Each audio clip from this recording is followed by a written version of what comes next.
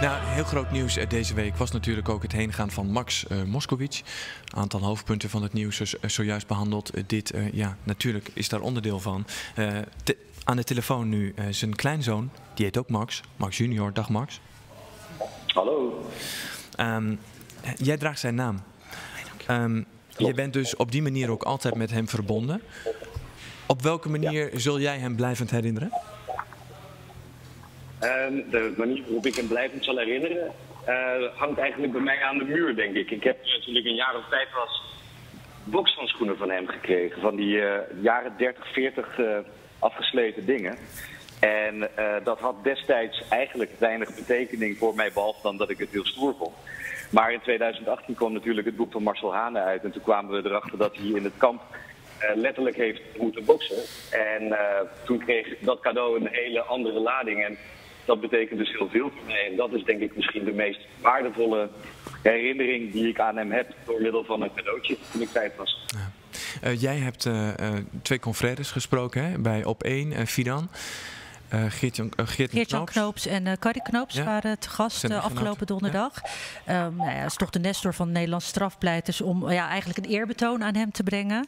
En wat zij zeiden um, was, er werd altijd toch wel langer geleden, toen hè, hij uh, in het vak, het vak betrad, werd er nogal laatdunkend neergekeken op uh, ons beroep. En hoe hij eigenlijk uh, strafrechtsadvocatuur weer aanzien heeft gegeven en het weer op de kaart heeft gezet.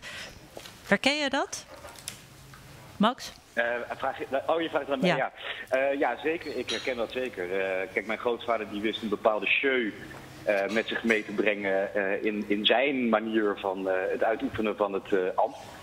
En ja, dat deed hij ja, op zijn eigen manier. En ik denk dat dat, ja, niet om oneerbiedig te klinken, maar door toch heel veel advocaten daarna een beetje is overgenomen.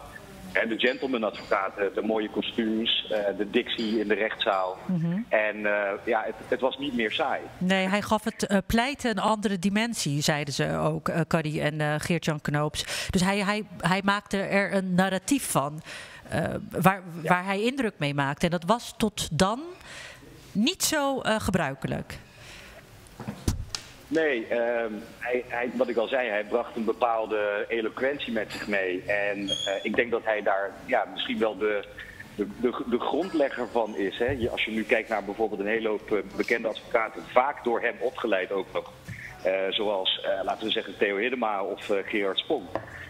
die daar in Maastricht het vak van hem hebben geleerd. En ja, dan, dan, dan, dan zie je toch wel wat, wat zijn invloed is geweest. En, en uh, de prachtige erfenis die hij aan de advocatuur nalaat.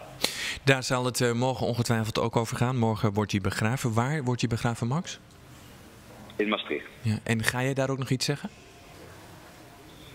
Um, weet ik eigenlijk nog niet. Oh. Ik wil vooral, oh. uh, ja, ik wil, ja, ik ben een kleinzoon, hè, dus ik wil vooral uh, natuurlijk mijn ooms en mijn vader ja. alle ruimte geven om uh, ja, hun woorden over hun vader uh, te uiten en hun verdriet uh, ja, te laten zien. Ja. Ik wens je en wij wensen je allemaal veel sterkte morgen en dank dat je eventjes over de telefoon.